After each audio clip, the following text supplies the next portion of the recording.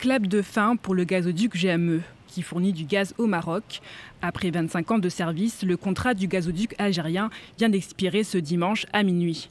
Le président de l'Algérie, Abdelmajid Tebboune, a mis fin aux espoirs de ceux qui espéraient le renouveler.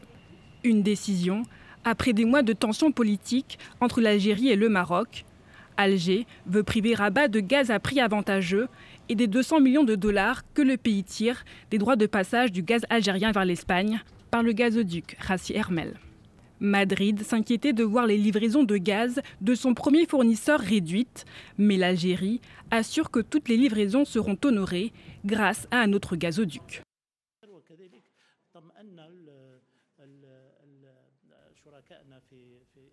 J'ai rassuré notre partenaire espagnol. L'Algérie honorera ses engagements relatifs à la fourniture de gaz naturel, conformément au contrat signé entre les deux parties.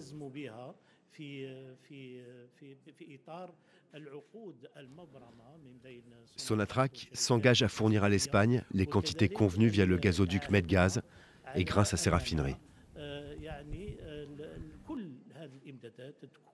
L'Espagne, elle, suit le dossier de près au moment où les prix du gaz flambent dans le pays, comme un peu partout en Europe. Madrid, aux côtés de la France, plaide pour des achats en commun au niveau européen du gaz.